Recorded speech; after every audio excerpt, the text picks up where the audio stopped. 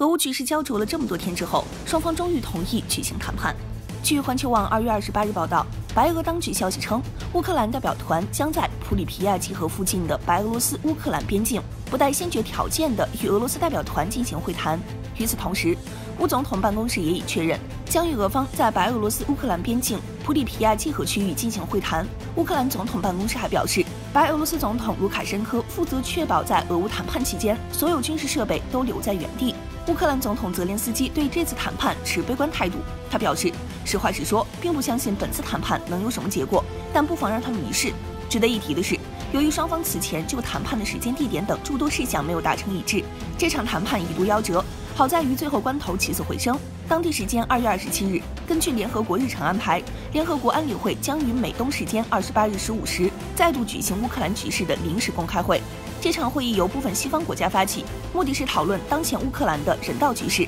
其实，俄乌局势恶化，西方国家不但不促成和谈，反而一直在拱火。当地时间二十七日晚，欧盟外交与安全政策高级代表博雷利在比利时首都布鲁塞尔表示，欧盟二十七个成员国已决定向乌克兰军队提供价值四点五亿欧元的一揽子武器装备，以及价值五千万欧元的燃料、防护设备等非致命性物资。